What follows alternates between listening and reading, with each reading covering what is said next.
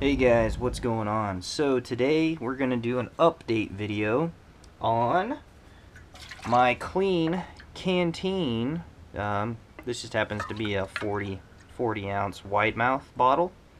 So as you guys can see, I did put this thing over a fire over open flames and it worked out fantastic.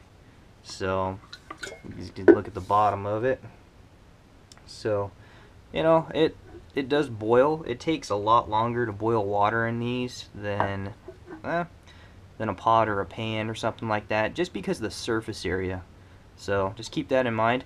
But with this bottle and my um, my Emberlit stove, I was able to boil 40 ounces of water, and you know it probably took about 17 minutes because I wasn't really feeding the fire and keeping it going. It would go down to embers, and then I'd throw in some more little uh, kindling sticks, and it'd get going again. So, but these things work out great. They're fantastic. I recommend them for everyday carry.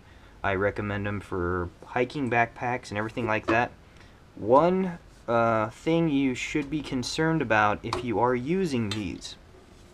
If you do drop this and it's full of water, like I did on solid concrete, it just dropped, hit, and it blew the top off.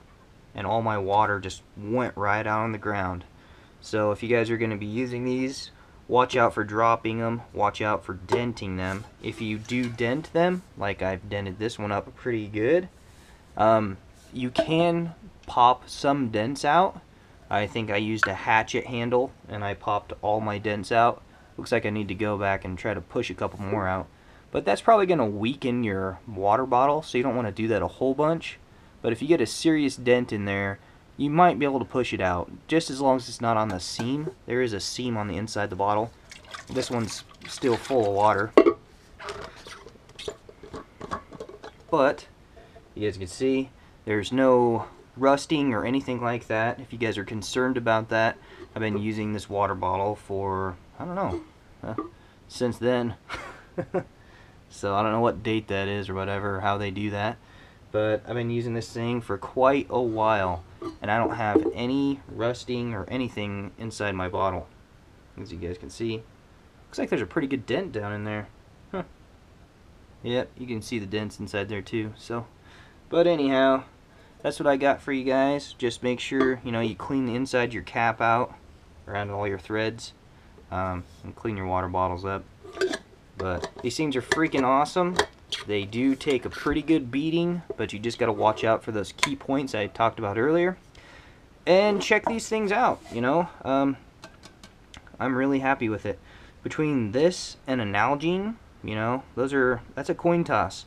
This I can boil water in, but I can't really drop and beat on it. A Nalgene, I can drop and beat on it, but I can't boil water.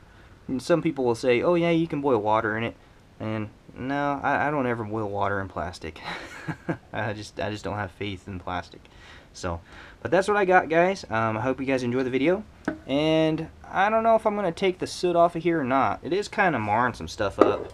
You know, I could draw on this table if I wanted to. So, I don't know. I don't know if I'll take that off of there yet or not. So, but I really do like these things. Check them out. Um, if you guys like my video, I appreciate it. If you comment and subscribe, I really appreciate that. So have a good day. Go out and do something.